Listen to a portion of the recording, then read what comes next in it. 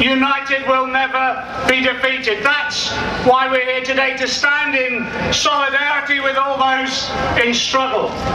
With 2 million unemployed and the prospect of 3 million by the summer, our responsibility is to stand beside all those in struggle. Yes, the Visteon workers have secured a, an amazing success through just standing up and fighting back with courage. Last week, a group of parents and teachers in Lewisham occupied their school because the government wants to privatise it.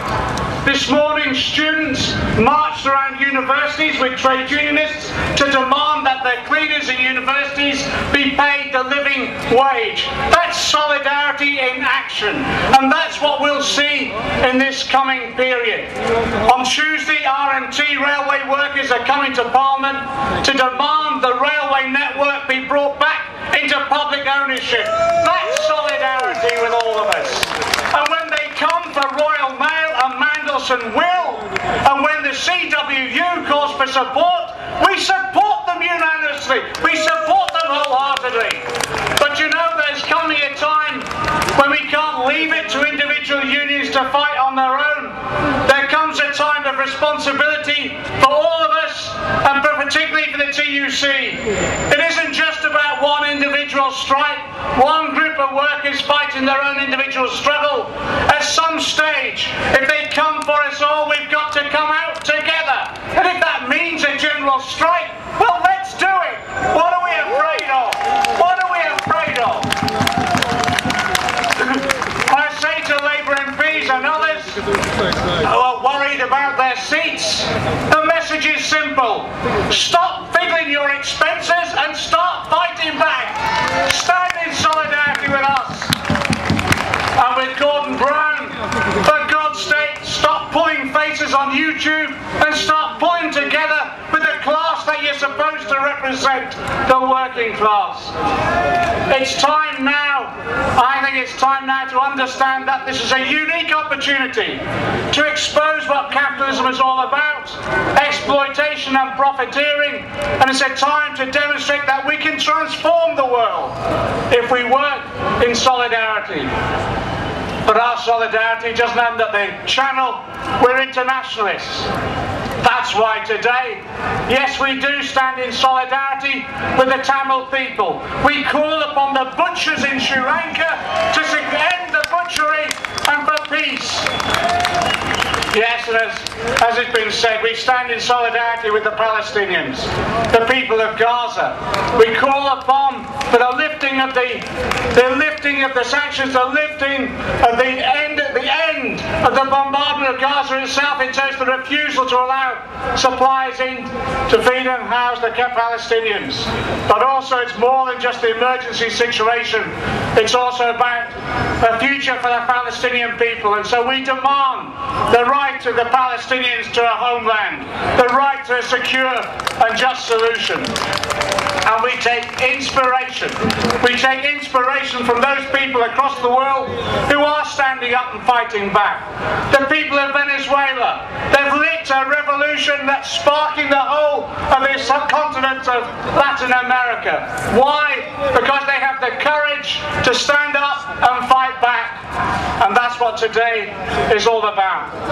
110 years ago, there's a socialist called William Morris who spoke in this square. And he said, We understand what capitalism is all about. It's a hunger. Capitalists have a hunger. They have a hunger for profits they secure through exploitation of workers. The way that they're defeated is for us to have a hunger. A hunger for equality and justice. We call it socialism. So today, we say we can tackle this crisis together in solidarity. We have an opportunity of creating a debate that can secure a socialist reform, a socialist transformation of our society. If we have the courage, take courage, comrades, solidarity. Now your generation has, for the first time in history, got the capacity to wipe out the human race.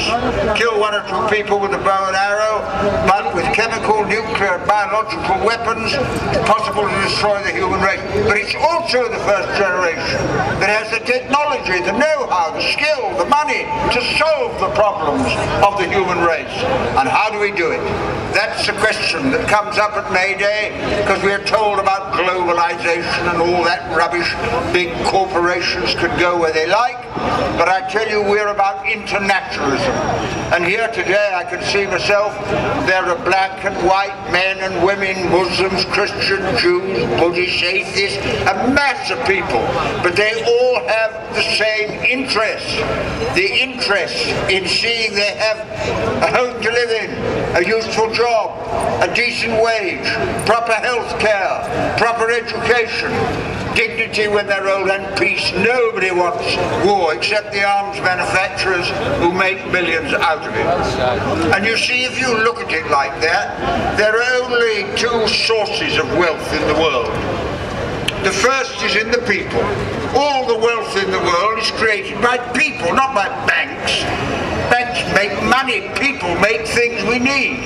And secondly, the wealth of the world comes from the resources of the earth.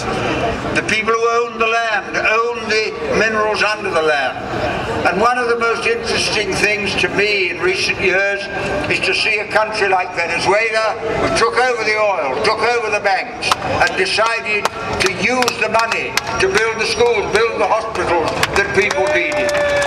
But you know, we're not going to succeed in doing it.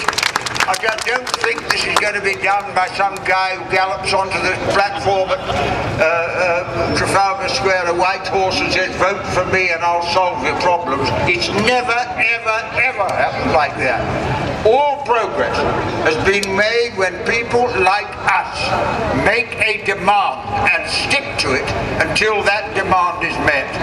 I'm against protest. I'm bored with protest. If you protest, you say, I've lost the battle and I don't like it. Well, obviously, if you lose the battle, you don't like it. We should be demanding what we want. We demand peace at the end of war. We demand jobs, we demand schools, we demand care. And that's how we're going to get it. Well Uh, it's very easy to be pessimistic. I meet a lot of people who say, oh, well, Tony, what's the point? You're bound to lose.